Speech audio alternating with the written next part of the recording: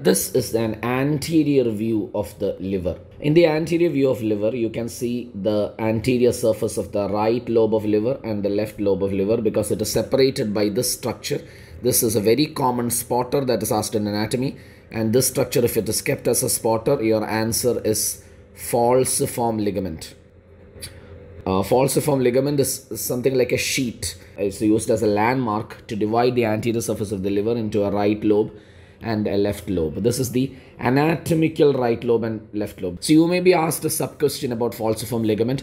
What is falciform ligament derived from? If that is asked, your answer is ventral mesogastrium.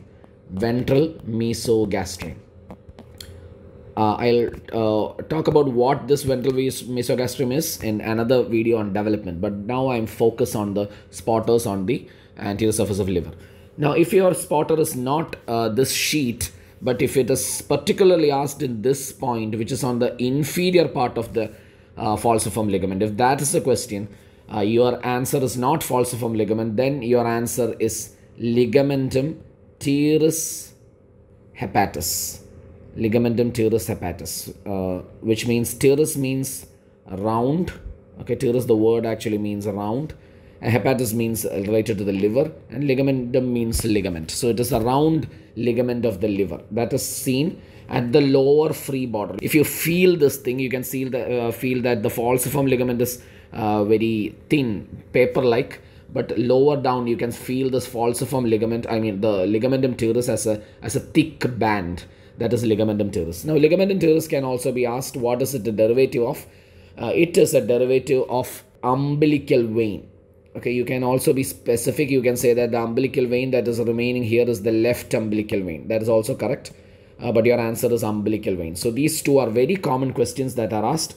One is the falciform ligament and the next is the ligamentum teres you have to notice where the spotter is kept. If it is this sheet it is falciform ligament. Uh, if it is this lowermost thickened band then this ligamentum teres hepatis now, ligamentum teres hepatis uh, can also be asked in the visceral surface of the liver. This is the anterior surface of the liver. Now, let us have a look at the posterior surface of the liver. In the posterior surface of the liver also, uh, there are a lot of structures, but here also ligamentum teres can be asked and that is also very important. Uh, if you look at the liver inferior border, you can see a, a notch over here. This is actually called the umbilical fissure. Okay, this notch is called the umbilical fissure.